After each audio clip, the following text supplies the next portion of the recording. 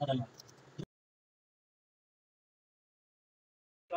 guys welcome to another vlog आज की इस वीडियो में हम जानेंगे अपने दोस्तों से नादर और सिराज से ऑर्गेनाइजेशनल बिहेवियर और शुगर डैडी के बारे में कि वो उनके बारे में क्या राय रखते हैं। तो वीडियो शुरू करने से पहले हमारे चैनल को सब्सक्राइब करें वीडियो को लाइक करें और घंटी के निशान को दबाना ना भूलें, ताकि हमारी आने वाली वीडियो आप तक बसानी से पहुँच सकें। A few moments later. असलकुम जी, मेरा नाम नादिर है और यहाँ पर आपको दिखाता चलूँ कि मेरा दोस्त एक सिराज बैठा हुआ है और हमारे कैमरा मैन जो है मिस्टर रमज़ान और हम तीन दोस्त हैं। ठीक है? और आजकल हमारे चल रहे हैं पेपर। तो उसकी बहुत ज़्यादा हम तैयारी कर रहे हैं क्योंकि सारा सेमेस्टर हम पढ़ते नहीं हैं, बिल्कुल। तो आज हम जो है ना ऑर्गेनाइजेशन बिहेवियर हमारा एक सब्जेक्ट है। तो उसकी तैयारी कर रहे हैं थोड़ी थोड़ी सी। चलें, आपको रमज़ान दिखाएँगे, ये सारा कुछ, ये हेडिंग्स वगैरह सारा कुछ हमने लिखा हुआ है। और जो सर हैं, उसका नाम है शुगर डैडी और लड़कों ने प्यार से रखा है, वैसे तो सर जीशान है उनका नाम। तो हम प्यार से उनको शुगर डैडी बुलाते हैं। और उन्होंने कोई भी स्टूडेंट पे जो टीचर्स होते हैं, नरमी करते हैं, कोई थोड़ा बहुत कोऑपरेट करते हैं, उन्होंने कुछ भी ऐसा नहीं किया हमारे साथ। उन्होंने हमें मिड्स में जो चैप्टर्स पढ़ाए थे, वो सारे के सारे फाइनल्स में भी इंक्लूड कर दिए हैं।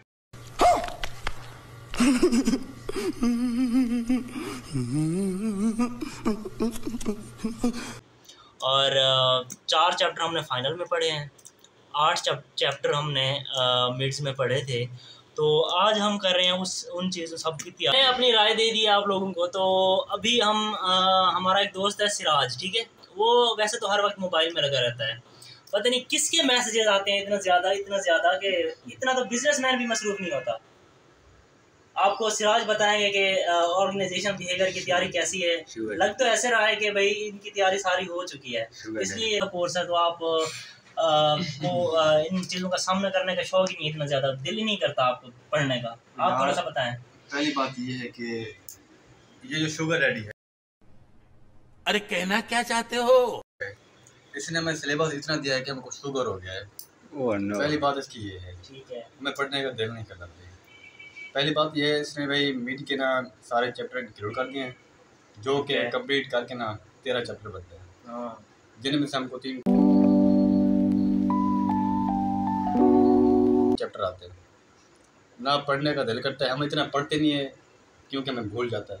हाँ वो बात तो आपकी सही है कि हम हाँ। पूरा सेमेस्टर हो गया है हमें। एक दिन भी नहीं पढ़ा। हम कहते हैं कि भी आखिरी रात में तैयारी कर लेंगे। तो अब भी नहीं हो रही भाई। अब आखिरी रात आ चुकी है यहाँ पर मतलब मौत आ चुकी है करीब। लेकिन हम भी पढ़ रहे हैं लेकिन समझ पल्ले कुछ भी नहीं पढ़ रहा हूँ यार मैं तो सप्ली के पैसे इकट्ठे कर रहा हूँ। क्या सप्ली के पैसे?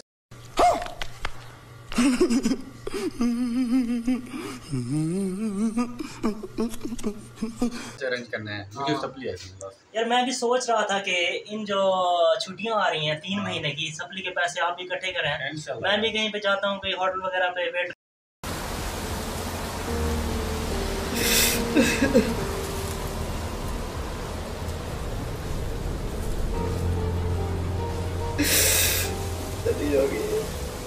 वगैरह कुछ करता हूँ यार कुछ करना तो यार फ़ीस तो इकट्ठी करनी पड़ेगी। सेमेस्टर की भी फ़ीस देनी है और इसके अलावा जो है सप्ली। सप्ली तो मस्ट है भाई। सात आठ आठ आठ आठ नंबर दिए हैं सर ने बीस में से। हमने पढ़ना नहीं हमने यार पढ़ा है हमें भूल जाए। वो कहते हैं कि भाई रट्टा मारो फुल रट्टा मारो इन सब्जेक्ट का। ये जो सारा कुछ आपने सर कहते हैं बुक में लिखा हुआ है सेम टू सेम वैसी कॉपी लिखो। आपने कंसेप्चुअल अगर अपना लिखना हो तो मैंने नंबर नहीं देने। तो इस बारे में आप क्या कहेंगे कि सर, हमें कंसेप्चुअल के नंबर आगे देंगे या नहीं देंगे? यार, वो तो हंड्रेड परसेंट नहीं देंगे। बिकॉज़ अब मिड सिलेबस आपके सामने रिज़ल्ट आपके सामने आपने देखा है। लड़कों के चार नंबर भी हैं, दो नंबर भी हैं। अब बना क्या करें, हमारे अपने भी तीन नंबर हैं यार, बीस में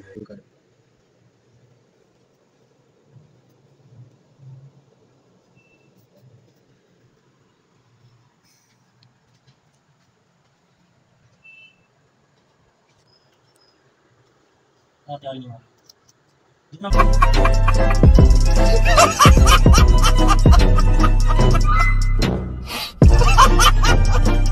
तैयार कर लें सारा का सारा भूल जाता है क्योंकि रट्टा सिस्टम है। सर कहते हैं कि कंसेप्चुअल तो लिखना नहीं है। बहुत ज़्यादा परेशान है यार। अब कल उन्होंने क्विज़ रखा हुआ है और उन्होंने क्या कहा कि सेशनल मैं दूँगा इसी क्विज़ की बुनियाद पर। हमने अ, सारा सेमेस्टर यहाँ पर आते आते आते आते हमने कहा यार हमारी अटेंडेंस शॉर्ट हो गई तो सर ने सेशनल नहीं देने। अगर हमने पार्टिसिपेट क्लास में नहीं किया तो सर ने नंबर नहीं देने। अगर हमने क्विज़ नहीं दिया तो सर ने नंबर नहीं देने। हमने वो सारा कुछ किया। उसके बावजूद सर ने कहा है कि मिड वाला और फाइनल वाला कल हमने क्विज़ रखा है एक बीस नंबर का वो भी टोटल बीस। ये नहीं है कि क्विज़ के होते हैं नंबर वैसे आमतौर पर पाँच। सर ने बीस नंबर का क्विज़ रख दिया है। अब हमारा दिल बिल्कुल भी नहीं कर रहा पढ़ने को। अब है।